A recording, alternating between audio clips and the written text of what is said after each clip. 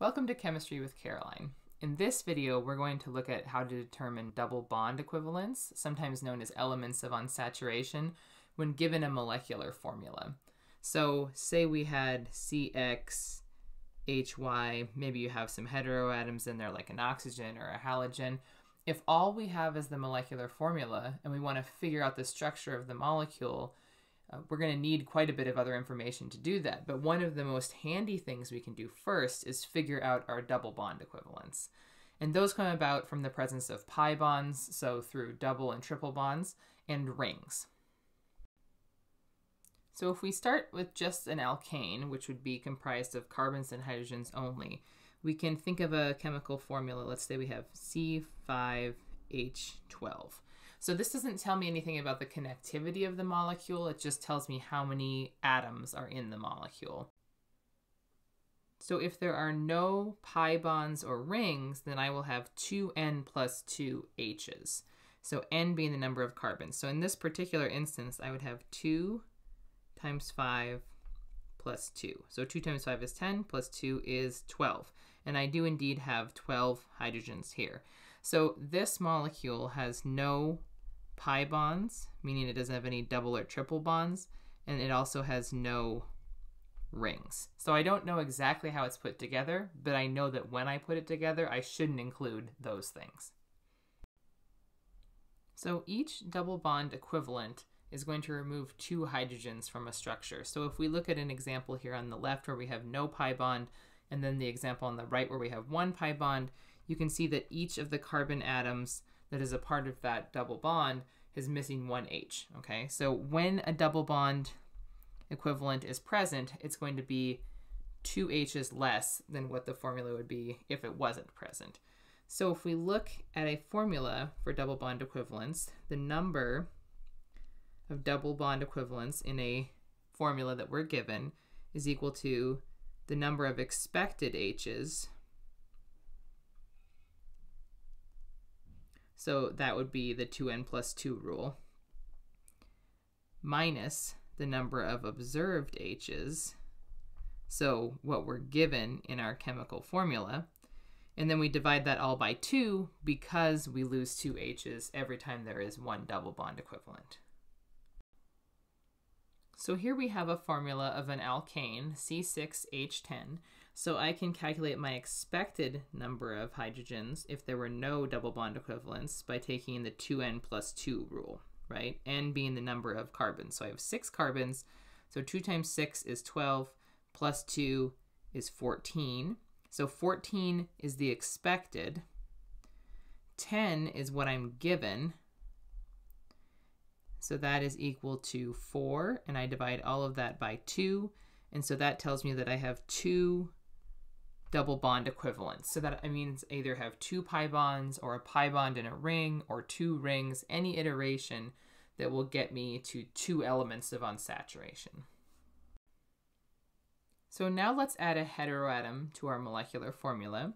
In this case, we're adding a nitrogen. And if we think about a nitrogen, it can slide right into a chain but the nitrogen makes three bonds and has one lone pair of electrons when it's neutral. So for every nitrogen that you add, you're going to be adding an additional hydrogen to your formula. So when you're doing your 2n plus 2 rule, you're going to add 1h for every nitrogen in your molecular formula.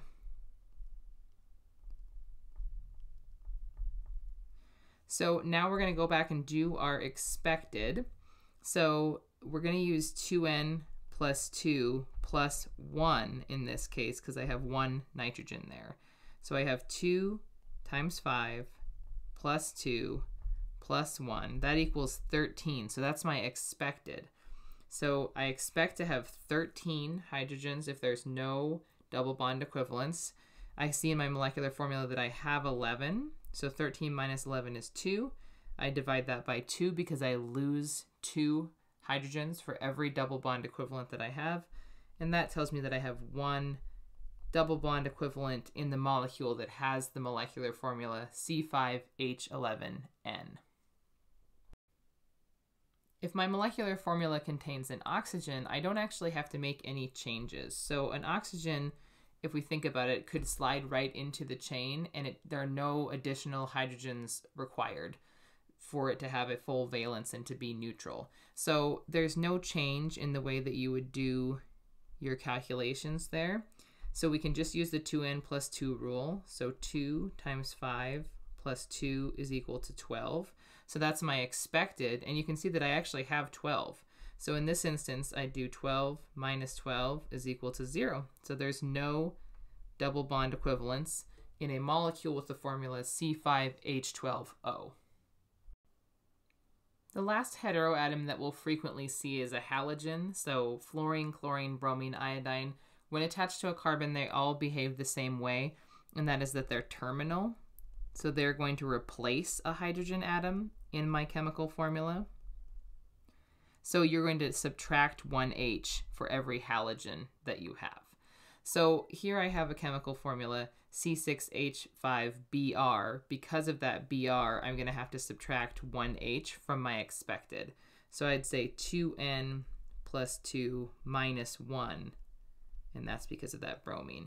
So in this case, I have 2 times 6 plus 2 minus 1. So 2 times 6 is 12, plus 2 is 14, minus 1 is 13.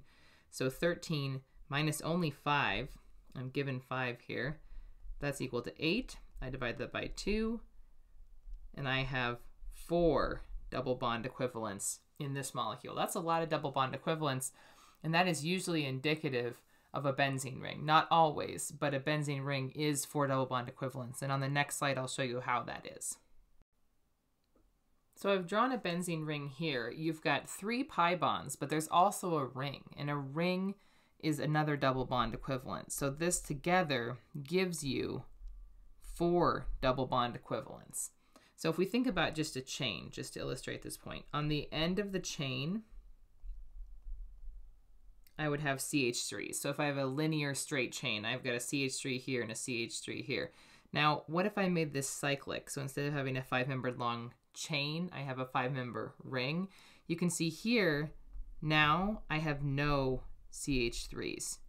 Everything is a CH2 now. So I've lost one hydrogen from this side and one hydrogen from this side. So same as any double bond equivalent, you lose two hydrogens through the formation of a ring or a pi bond. So that is how you calculate double bond equivalence. If you found this video helpful, please like, subscribe, and share with your friends, and I'll see you next time.